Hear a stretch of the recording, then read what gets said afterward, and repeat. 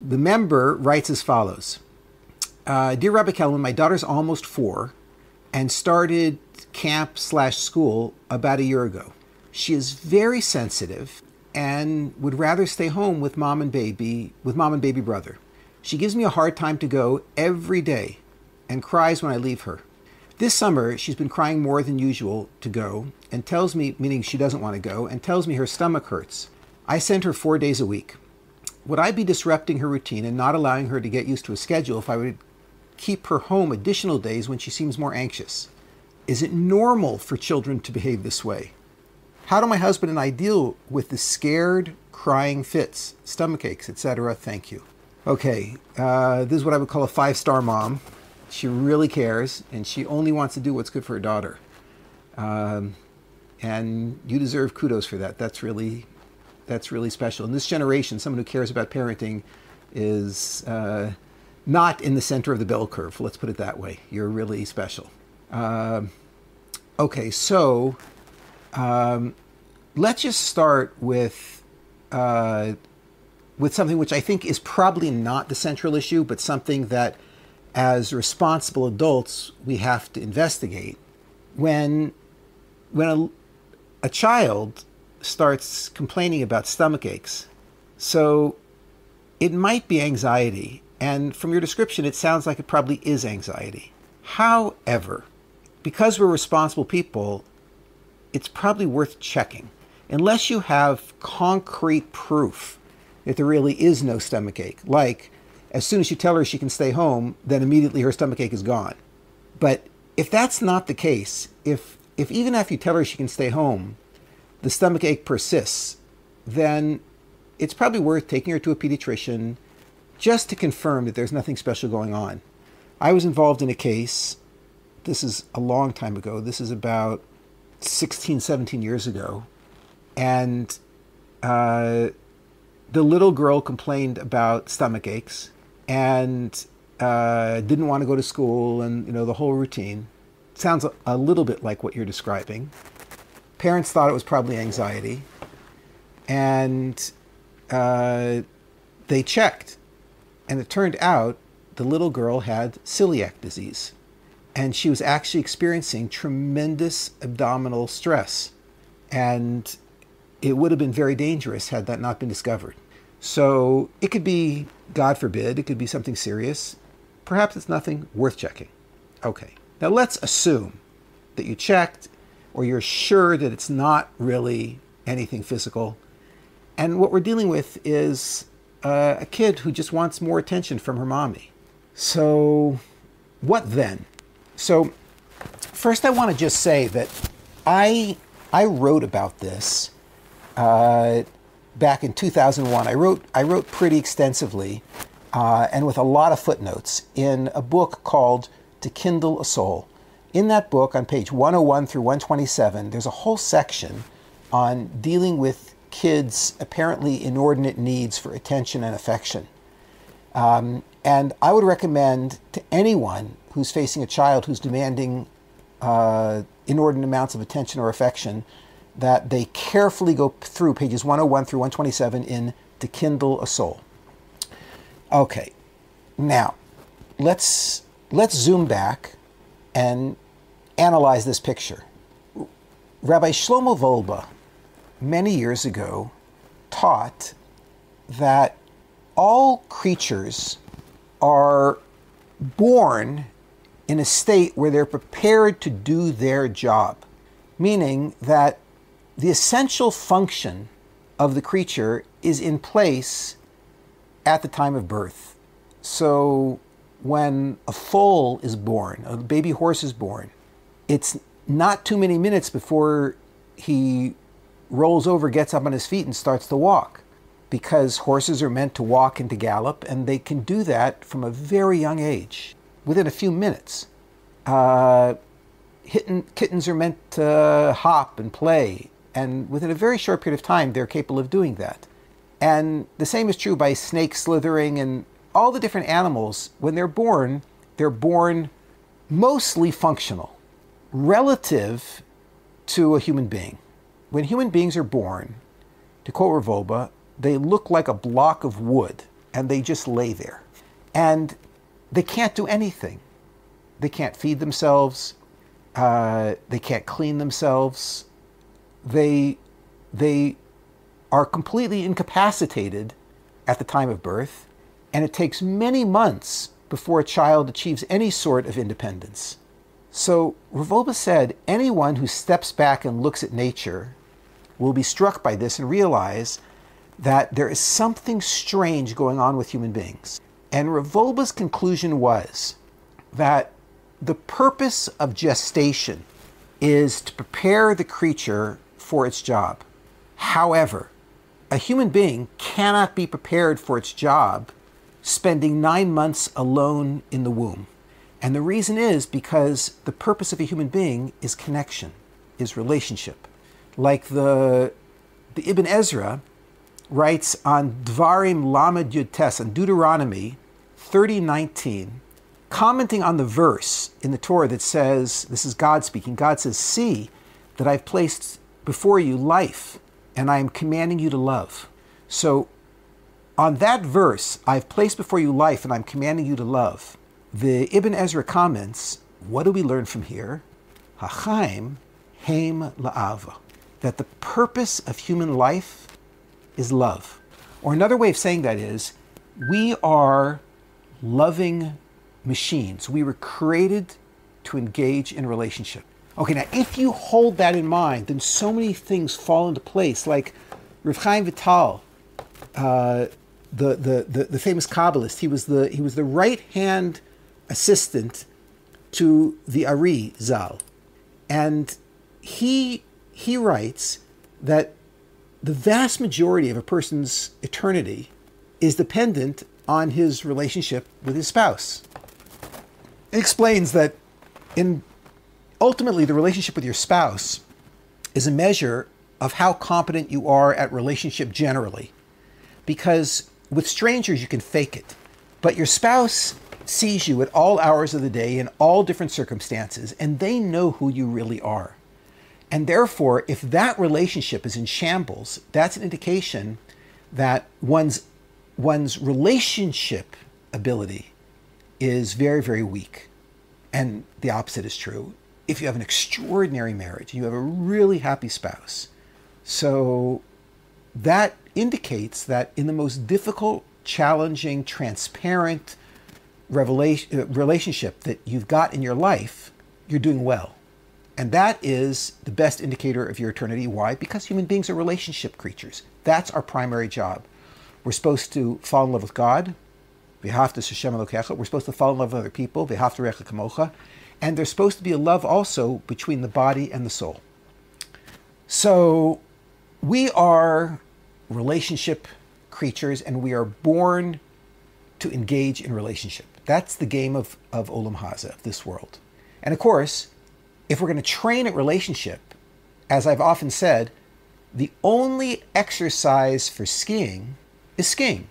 If I run up and down stairs, it'll get me into better shape. But on the first day out on the slopes, I'm still going to have pain. There will still I'll still walk away with achy muscles because running up and down stairs doesn't use exactly the same muscle groups in exactly the same way as skiing down a slope. You could ride a bike to train for skiing, but you're still going to be sore after the first day of skiing. The only way to not be sore after a day of skiing is to do a lot of skiing. The only exercise for being competent in a relationship is relationship, which means that's what we came to this world to do. We're here to engage in relationship. Okay, hold on to that idea for a second. Let's take one more step forward. When your daughter cries, we assume she's only doing that for attention. She just wants more attention from mommy. That's all. It's just attention. But once you understand that attention is what she needs in order to develop herself, to become who she is, to create her ability to engage in relationship, then attention for a human being is like oxygen. Our, our spiritual survival depends on getting attention and being engaged with others. And of course, the more intimate the relationship, the more vital it is to our development. So when we say she's only doing that for attention, we should translate that's like saying, she's only doing that because she needs oxygen. Okay, there we wouldn't say only. We'd say, oh, I understand. She's doing it because she needs oxygen. So now everything is in perspective. Giving her that relationship with her parents is crucial to her survival. It's crucial to her psychological and spiritual growth as a child. It will be the key element in helping her through her teenage years, as I'll touch on shortly. And ultimately, it's going to determine the quality of her marriage, her friendships, and eventually what kind of a parent she becomes, or if she even becomes a parent or gets married. I just want to say as an aside that uh, you can read a lot of books to try to get a handle on reality. And the Kindle of Soul has, I don't know, hundreds of footnotes to hundreds of studies. But there's nothing like experience. I'm always loath to take parenting advice from someone who hasn't raised kids from their earliest years all the way through adulthood. And today, I'm a grandfather. And I'm looking back on all my kids' childhoods.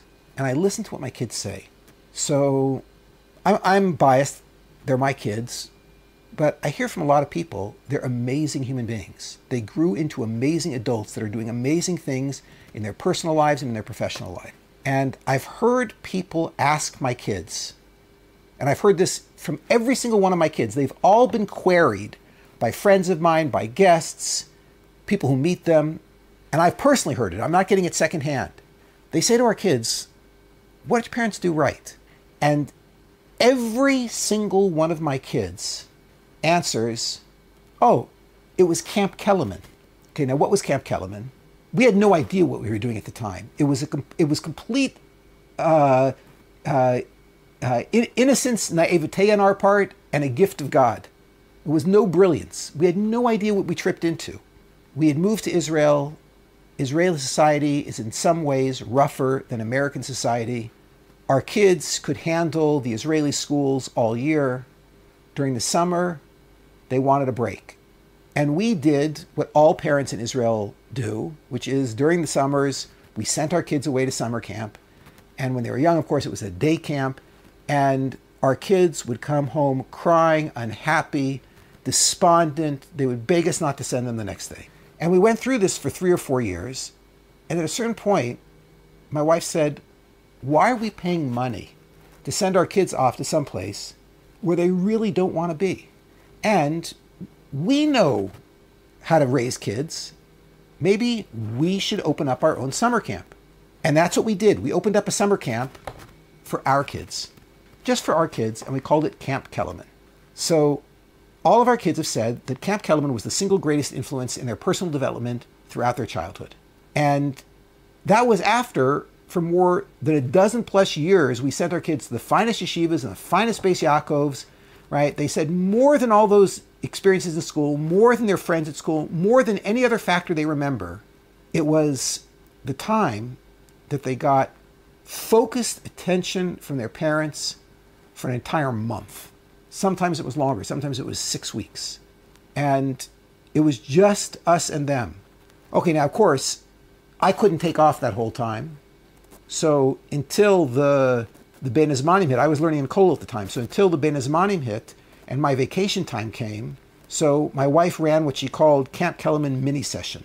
And it was little things where she would take kids to the park one day, and then another day she would take them to the museum, and it, right, it was little tiny things that she would do just around Yerushalayim. And then when Big Camp Kelemen came and Abba came, then we would travel outside of Yerushalayim, and we'd go to the Tank Museum, and we'd go to Little Israel, and we'd do all sorts of activities together as a family.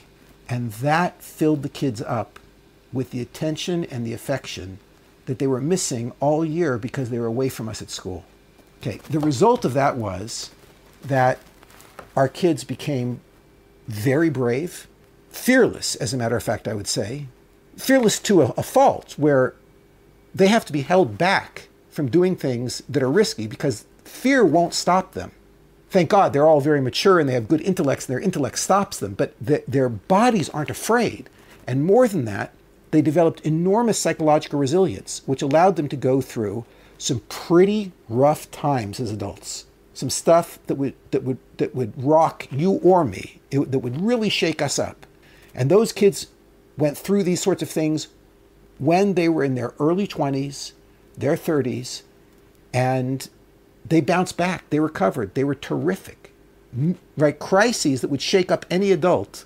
If they were, if an adult was hit with these things, these kids, they they suffered, they went through pain, and they bounced back and came back terrific. So they attribute all of that to the special time that they spent with Ima and Abba at Camp Kelemen. Okay, now back to the theme I was speaking about. Something to keep in mind is that if a child learns from us that they can turn to us at age four, then that lesson gets internalized and they'll open up to us at age 14 or 15, which is so crucial because that's a time when all the hormones are let loose and the child is so confused and they're at such high risk and they can get themselves into so much trouble so easily. And what we really want is for them to turn to us and talk to us about the issues. And so many kids at that age learned early on that mom and dad are not available.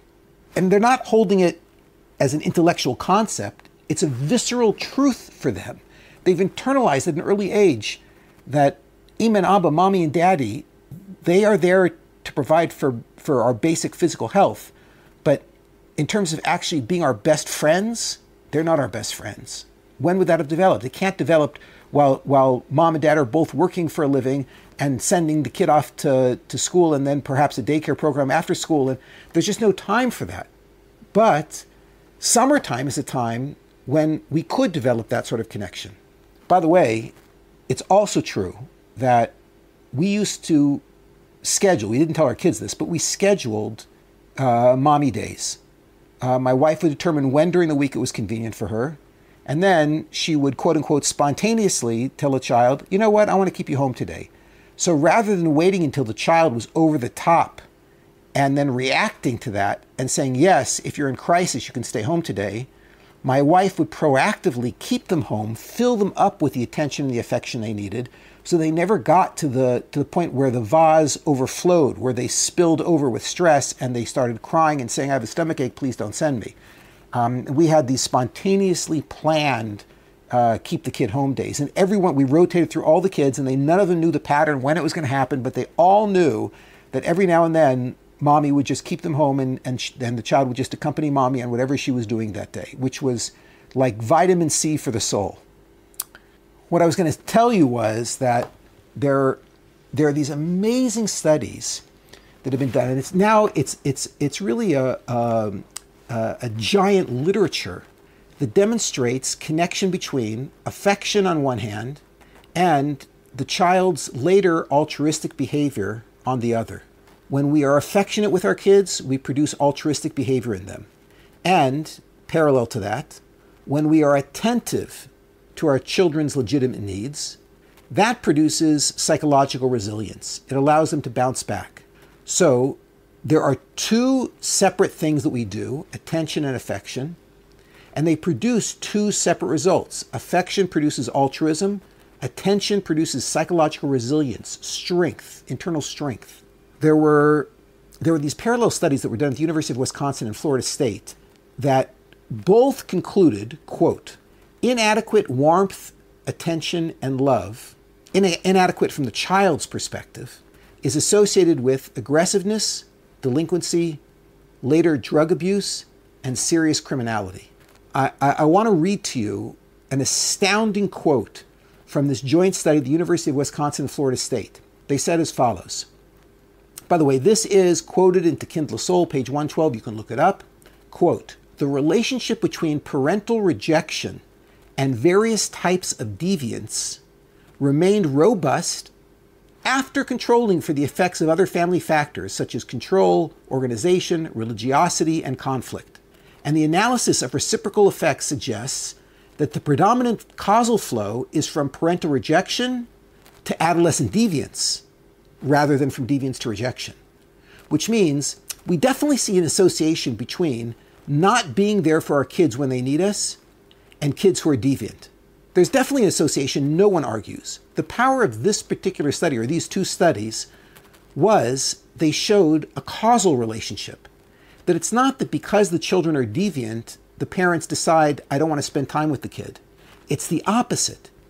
It's that because the parents don't spend time with the kids, the children end up becoming deviant.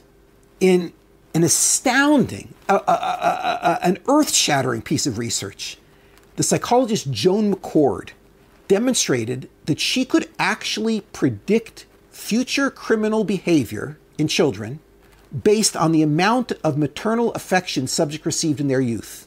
McCord explains, quote, her predictions of adult criminality based on knowledge of home atmosphere were not only markedly more accurate than chance, they were also more accurate than predictions based on the individual's juvenile criminal records.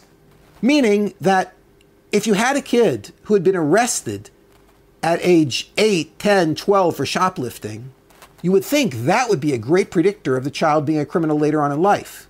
But a better predictor, they discovered, is how much time, attention, and affection the child received from the mother. Listen to this. Knowing only the amount of affection a child received, McCord predicted later criminal activity with 92.9% accuracy. So, what's the other 7.1%? All the other factors in a child's life. All the other factors in a child's life, the bad friends, the bad teachers, right, economic difficulties, all that accounts for 7.1% of later criminality. But 92.9%, McCord said, can be predicted based on how much attention and affection the child gets from their parents. That is absolutely astounding. And once I know that, so then I'm going to take attention and affection very, very seriously. I, I, I, used to travel when I when I left Cole and I went to work. I used to travel a lot. I traveled all over America uh, uh, teaching, and I would be gone a week at a time, sometimes two weeks at a time. Rav Wolbe told me every single time I went, and at that point I was traveling once a month. Rav Wolbe told me every single time I went, I should take one of my children with me. I said to him, Rebbe, that means every five weeks my kid is going to be out of school for a week or two. Rav Wolbe said, they'll learn much more spending time with you, and they'll be much more spiritually healthy. A week or two with Abba on the road was far more beneficial to them than being one of 25 kids in a classroom. So I, I don't want to undermine the, the role of the school. The school is very, very important, but let's call a spade a spade. The psychological and spiritual health of our children depends on us giving them attention and affection. When a four year old is crying out to us, saying, Please, mommy, please, I need more, you have to imagine they're saying, I need more oxygen. And I want to become everything that God put into me, but I can't without your help. I need you to take care of me. So the answer is uh, if your children are in crisis, they're, they have stomach aches already, it's over the top, certainly I would give them the attention and affection they need. Start up your own, own little private family camp. And, you know, at least during the summer, give them your full attention. And, if that's possible, and uh, during the year, be proactive and have the kids spend time with Ima and with Abba, with mommy and with daddy uh, proactively before they go into crisis so they never actually get to a point where they're begging you, please, please don't send me to school. Copyright LawrenceKelemen.com. All rights reserved.